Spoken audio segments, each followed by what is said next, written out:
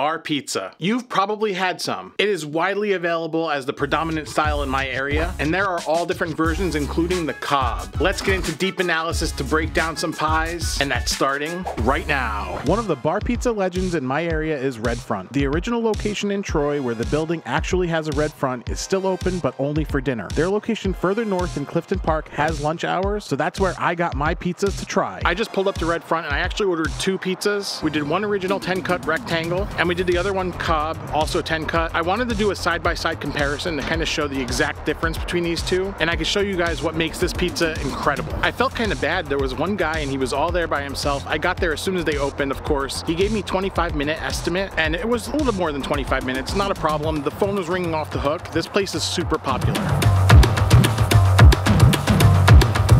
All right, first up, we're gonna go with the regular cheese on top. So let's see how it tastes.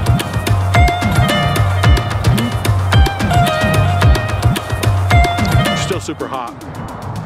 A lot of sauce. Seems like more sauce than I'm used to for a red front pizza. The crust is nice and crispy. So far, so good. The one thing to note about that is that they're not shy about the sauce or the cheese, but the cheese gets nice and bubbly and the sauce is very sweet. Anyway, let's switch over to the COB and then what we'll do when we get back to the home studio, we'll compare the two and I'll kind of show you what makes this particular pizza special and kind of how it fits into the grand scheme of the bar pies in the area. Next up, we have the COB. This was brought to my attention probably about 16, 17 years ago by a friend from the comic shop, actually. I had never known what the cheese on bottom pizza upstate New York was. Let's see how it tastes, and I'll talk a little more about this after we taste it.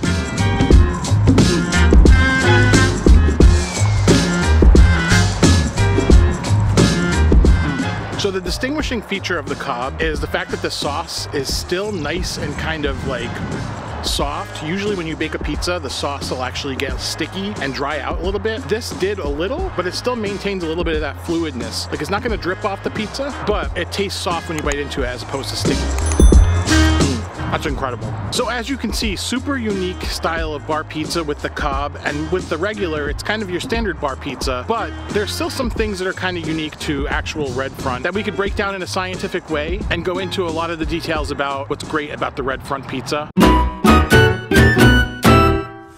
So I've gone to this Clifton Park location a number of times before, and it's actually remarkably different from the location in Troy. And if you want to know why the business is called Red Front, well, you look for the building with the red front. We're talking about Tavern Pizza, and the Troy location of Red Front is definitely a tavern, but the Clifton Park is remarkably different. It's definitely geared more toward takeout, even though there are a handful of tables in there. As I carried this pizza out, the one thing that really was striking me pretty hard because they were super hot was the smell. Now, what I was getting from this was a very strong strong smell of like early 90s Pizza Hut. And that's not too surprising because Red Front cooks their pizzas in a pan, as did Pizza Hut at the time. And that kind of speaks to the very first thing that's unique about Red Front Pizza, and that's the crust. Now, when I say the crust is unique, I don't mean unique for the form, I mean unique for the area. The tavern pizza or bar pizza is a typical thing up here. And as I mentioned in the last pizza video where I was comparing two New York styles, sort of, the quintessential style up here in New York is actually this bar style pizza, which is most of the time rectangle. Sometimes it's round, including red front. It's cooked in a pan, usually a lot of oil on the bottom. With both pies, I can tell you that both are cooked in a pan. Both had plenty of oil on the bottom to the point where, as you see when I flip this over, the bottom crust has a little bit of oil to it, and I'm sure if I would squeeze it, a little oil would come out. That's what you get when you get a bar pizza. But let's talk about the actual nature of the crust because on both pizzas, between the original cheese with cheese on top and the cob with cheese on the bottom, you can see here that there's not a whole lot of rise. Now, depending how you feel, I come from downstate where the rectangular Sicilian pizza is a big thing. The first time I had this style pizza, it was a little bit shocking because it's almost like the thickness of a New York crust, but cooked in a pan. Kind of like what you get at home when you use like a supermarket dough. I'm not saying that's what they're doing here at Red Front, just to give you the visual, something that you could probably relate to in your everyday life. But because it doesn't get a whole lot of rise, what they do is they make a nice little rim around the pizza and it doesn't actually develop any kind of extra puffiness where there isn't toppings. And where that's kind of interesting, there's kind of a well and a little bit of a rim around it. I don't want to call it an end crust because it really isn't an end crust. But the difference between the cheese on top and the cheese on bottom, because the cheese on top, some of the cheese falls out, you get a little bit of this crustiness around the edge of the pizza. And it almost kind of gives you that vibe of like a Detroit style pizza where they kind of make it edge to edge, where the cheese is touching against that like carbon steel. And you get that little crispness. When comparing the original cheese to the COB at Red Front, it's something to definitely keep note of because with the COB, Because they use sliced mozzarella cheese, you don't get the opportunity for it to do that. But the notable thing about the crust is that there's not a whole lot of rise to it. There's not a whole lot to chew through, but it's kind of a distinct thing for this style pie. And I would say red front is probably on the thinner side within this area for this rectangular square cut pizza. One thing I can show you on that bottom crust though is that you get kind of an uneven bake and that's kind of indicative when you're cooking in a pan with plenty of oil, you're gonna get your spots that are gonna get a little hotter that are up against that brick oven and you get that conduction that goes through the levels, but it's not gonna be even for the most part. And it comes down to whether you stretch the dough out evenly, whether there's any air bubbles underneath the dough. But in both pies, you can see that there's quite a bit of white areas of the dough and also kind of transitioning to the cheese with the cheese on top version as well as a little bit with the cheese on bottom version. There's a little bit of browning to the cheese, which tells me these are probably cooking at a really high temperature. And in terms of the dough, it's probably a very low hydration dough, which essentially results in not a lot of rise over the relatively short cook time. And as I mentioned while I was there, the pizzas were ready just about as much time as he told me it would take. So for him to form the pizzas, top the pizzas, and bake the pizzas, cut them, put them in a box, it was 27 minutes. And that was also with him doing other stuff in between. So figure about 18, 20 minutes for the bake and rest of the time for the administrative tasks of waiting for it to cool enough to cut and everything. For the cheese on top version, there's these little speckled parts. And I noticed when I was actually reading the reviews online, which I always do, I never kind of take them to heart, but I always look at what people are saying. There's actually a woman who ordered from the Troy location who said that the pizza at Red Front ruined her granddaughter's birthday party, which sounds like a bad day, but she called the pizza burnt. But looking at these pictures here, it doesn't look any farther off than what I got, maybe a little bit more on the dark side. And I think that's just a function of the fact that it's cooking at a very high heat and you got kind of that convection and that's what's gonna happen. I also would speculate that the cheese is probably a higher fat cheese. They're probably not mixing in as much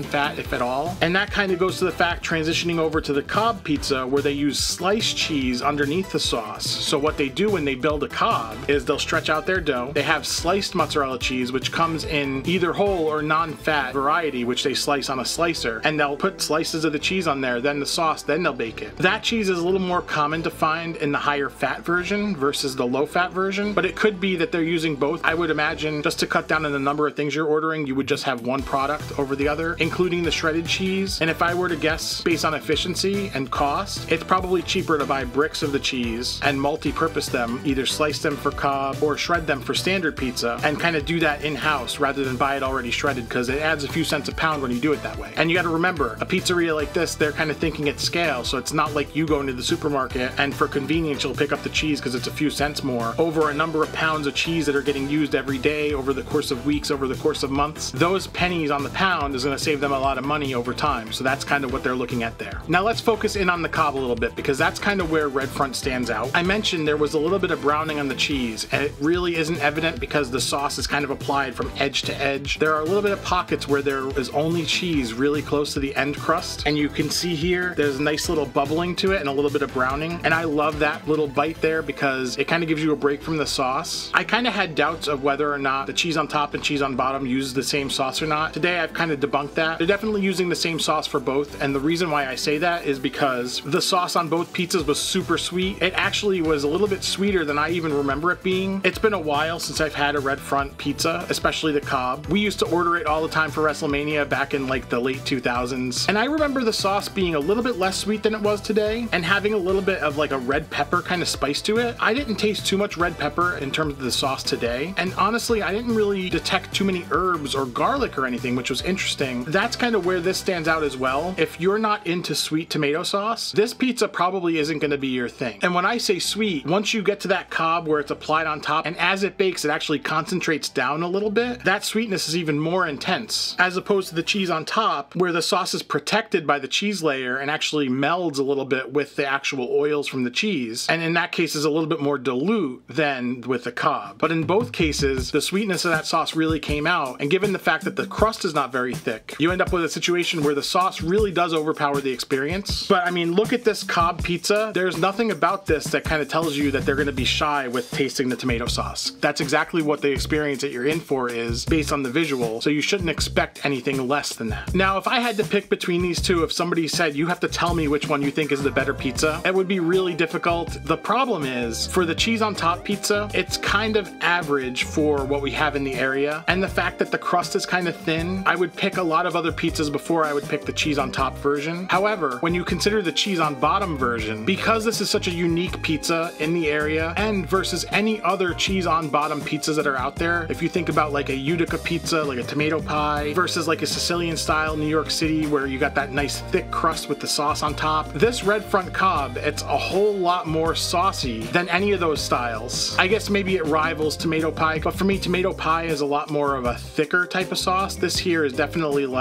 your typical tomato sauce that doesn't have any tomato chunks, if that makes any sense. But the COB is definitely a super unique experience, and I would say if you're ever in the capital region of New York, Red Front's COB Pizza is a must-try food. One thing I noticed while I was there waiting, all my years going to Troy, I never knew that you could actually get pizza by the slice, and I actually still don't know. Because the hours at the two places were different, I kind of had to go to Clifton Park because I had to record this in the middle of the day. The other thing I thought was awesome, they had a drunken chicken parm sub, which is vodka sauce instead of tomato sauce, and that sounded absolutely amazing. I kind of want to see what that's all about, so maybe subject for a future analysis. If you enjoyed this Tavern Pizza analysis, make sure you hit the video with a thumbs up and subscribe so future videos come up in your feed. And make sure you click into the playlist right here for even more pizza analysis.